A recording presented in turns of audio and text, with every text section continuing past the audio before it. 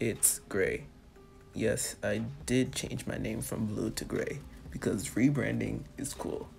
But anyways, this um species profile was recommended by someone. Um, they asked me to do Kentro, so let's just do Kentro.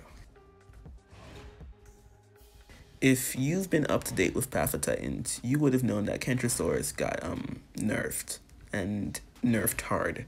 It is the weakest herbivore at the moment, I believe, and um um a Concav can bleed it out in like three claw strikes, which is sad because Kentro used to be one of the strongest in the game.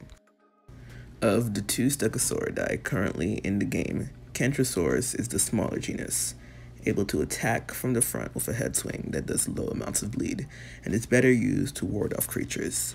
The second attack, Tail Swing, swings both ways, first to the left, then to the right. It does average amounts of damage and high bleed.